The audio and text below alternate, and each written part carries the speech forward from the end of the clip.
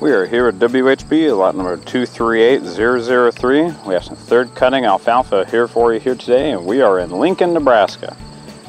See, we got them all lined up here. Some of the net wraps torn on a couple of these, but uh, they are still some pretty good looking bales. They're good, heavy bales. You can see they're stacked just kind of back in the trees here. Gonna take a look at this hay.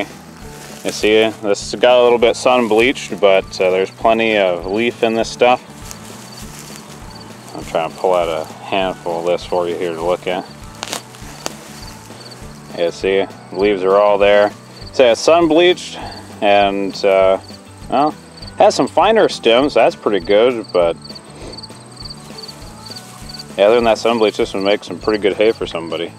Get you another handful of hay here.